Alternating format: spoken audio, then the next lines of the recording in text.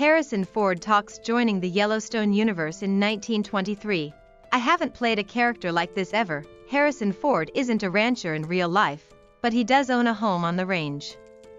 The Indiana Jones star and his wife, actress Calista Flockhart, spend much of their time on an 800-acre property outside of Jackson, Wyoming. It's a former. The series casts Ford and Helen Mirren as Jacob and Cara Dutton, ancestors of Kevin Costner's rancher, John Dutton III, on the mothership.